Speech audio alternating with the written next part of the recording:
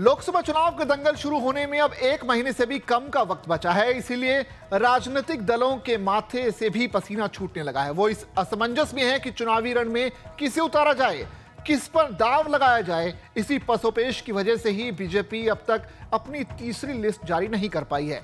यही वजह है कि वरुण गांधी को लेकर भी सस्पेंस बरकरार है। हालाँकि अखिलेश यादव ने पीलीभीत सीट पर अपने पत्ते खोलकर वरुण के सपा से चुनाव लड़ने की अटकलों पर विराम लगा दिया है। तो कैसे बिगड़ी बात? क्यों नहीं मिला दिग्गजों का साथ? देखिए इस रिपोर्ट में। अखिलेश की वरुण से दूरी। क्या है साथ न आने की मजबूरी? बीजेपी लगाएगी वरुण पर दाव। क्या अखिलेश की डूबेगी नाव? राजनीति में जब जब चुनाव करीब आते हैं, तब तब अफवाहों का बाज़ार भी गरमाने लगता है। कयास इस कदर तेज होते हैं कि बातें हकीकत लगने लगती है। अब उत्तर प्रदेश में भी चुनावी माहौल के बीच वरुण गांधी के सपा की साइकिल पर सवार होने की अटकलों ने ज़ोर पकड़ा था। लेकिन शाम ढलते ही जैसे ही अखिलेश ने सीट को लेकर अपने पत्ते खोले, वैसे ही इन कयासों पर विराम लग गया। सपा ने पूर्व मंत्री भगवत सरन गंगवार को प्रत्याशी घोषित कर दिया। वो नवाबगंज से तीन बार विधायक रह चुके हैं। साल 2009 और 2019 के लोकसभा चुनाव में पार्टी ने उन्हें बरेली संसदीय क्षेत्र से प्रत्याशी बनाया। लेकिन वो जीत हासिल नहीं कर सके। अब पार्टी ने उन्हें पीलीभीत सीट से टिकट दिया है।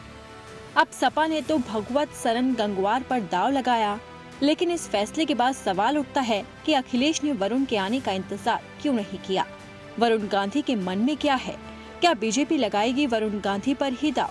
दरअसल बुधवार दोपहर को ही वरुण गांधी ने पीलीभीत सीट से चुनाव लड़ने के संकेत दे दिए थे।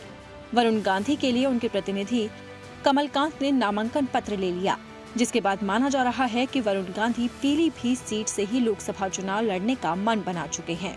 हालाँकि अभी तक बीजेपी ने सीट को लेकर अपने पत्ते नहीं खोले, जबकि पहले चरण यानी कि 19 अप्रैल को ही सीट पर मतदान होना है। बावजूद इसके, बीजेपी यहाँ के लिए अब सस्पेंस बढ़ा रही है।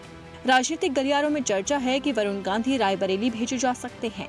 पिछली बार सांसद चुनी गई सोनिया गांधी ने इस बार खुद को किनारे कर लिया। वो राज्यसभा के ज़रिए उस सदन में पहुँच गई। उनकी जगह कौन लेगा अभी ये तय नहीं हो सका। ऐसे में इस बार बीजेपी गांधी परिवार के ज़रिए ही अपनी कमज़ोरी को दूर करने की जुगत में है। इस खांचे के लिहाज से वरुण गांधी का नाम बिल्कुल फिट बैठ रहा है। पार्टी सूत्रों के मुताबिक पीलीभीत से इनके नाम पर ना नुकुर करने वाले नेताओं को ये सुझाव बेहतर विकल्प नज़र आ रहा है।